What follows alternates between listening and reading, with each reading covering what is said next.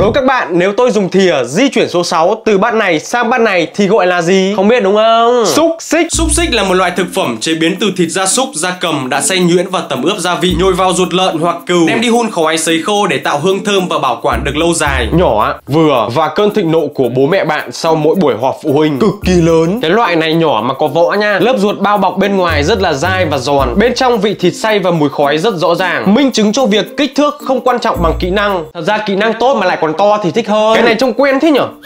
Vỏ ngoài khá là mỏng, không dai, còn hương vị thì Cái xúc xích này mà biến thành người thì nó giống hệt đứa bạn thân của bạn. Rất nhạt nhẽo. Còn đây là ước mơ của bao chàng trai, trong đó có bạn Và tôi. Ủa, Chính xác đây là một cục bột pha với một chút thịt. Không có một chút vị thịt nào luôn. Bật mí cho các bạn thì đây là cái xúc xích to nhất và rẻ nhất. Các cụ nói cấm có sai, tiền nào của đấy. Mà các cụ có sai đi chăng nữa thì cũng chẳng ai dám cãi cả. Còn phải nhớ, đói cho sạch, rách cho 5 triệu. Đâu mà, có 2 triệu thôi